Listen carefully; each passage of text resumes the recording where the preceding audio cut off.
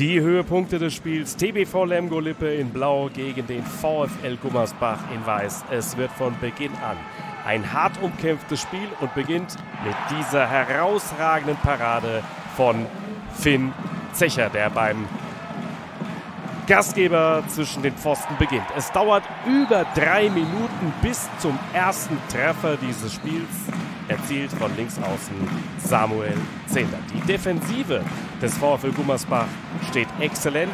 Selten gelingen die Gastgebern solche Abschlüsse aus der zweiten Reihe. Hart umkämpft, vor allem die Duelle am Kreis. Brosch setzt sich durch nach diesem Anspiel von Lukas Gutecek und zwar im Nachfassen. Es bleibt eng, es bleibt umkämpft. Mitte der ersten Hälfte.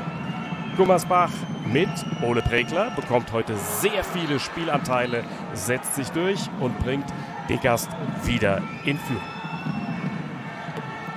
Und dann Oskarsson, zuletzt ja mit sechs Treffern beim Heimsieg gegen Leipzig, findet hier die Lücke im Innenblock der Gastgeber.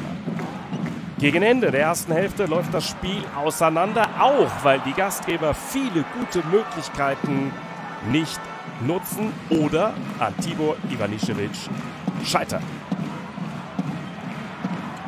Schlussphase also der ersten Hälfte, dann dieser Treffer, aber es ist ein klarer Abstand schon.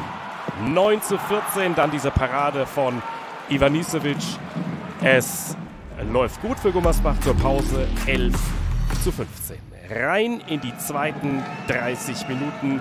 Es wird das Spiel dieses Mannes und der heißt Julian Köster. Lemgo immer mit zwei, drei Toren im Rückstand. Es wird trotz allem eng in diesem Spiel. Wer hält Gummersbach im Spiel? In Front wiederum er, Julian Köster mit Abstand der beste Mann am heutigen Abend, sowohl in der Defensive sehr, sehr gut, als auch vorne treffsicher mit insgesamt sieben Treffern. Sieben Minuten vor dem Ende verkürzt Lemgo dann auf einen Treffer. Sie haben mehrfach die Chance zum Ausgleich, aber immer wieder Köster bringt den alten Abstand für den. Kastelic inzwischen bei Parade Nummer 10, aber die Zeit läuft weg, zudem einige umstrittene Entscheidungen aus Sicht des TBV Lemgo. Am Ende gewinnt Gummersbach auswärts in Lemgo 26-23. Alle Spiele live und auf Abruf bei Dein.